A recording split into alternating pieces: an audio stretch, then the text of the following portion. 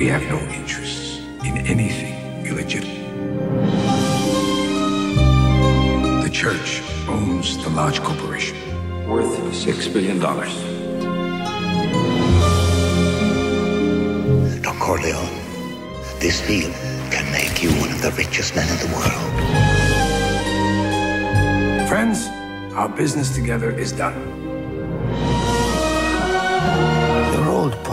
Partners, they're unhappy. They think you abandoned them. Just when I thought I was out, they pull me back in. Mr. Corleone, we have a problem. I said we make them dead. You give me the order, I'll take care of it. It's not personal, Godfather. It's only business.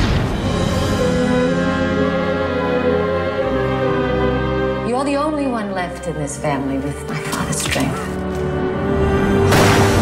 Call yourself Vincent Corleone.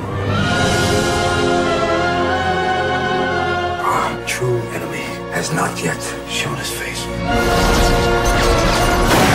When they come, they'll come at what you love.